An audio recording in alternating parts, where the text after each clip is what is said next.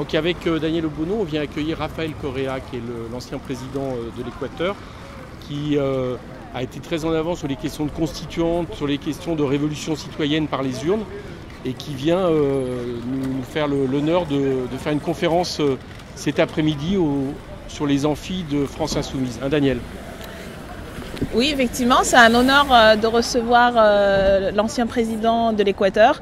Et euh, ça participe ben, des liens que la France insoumise développe et entretient avec tous les peuples qui nous ont inspirés dans leur démarche de révolution citoyenne. Et je pense que ça va être une conférence très intéressante.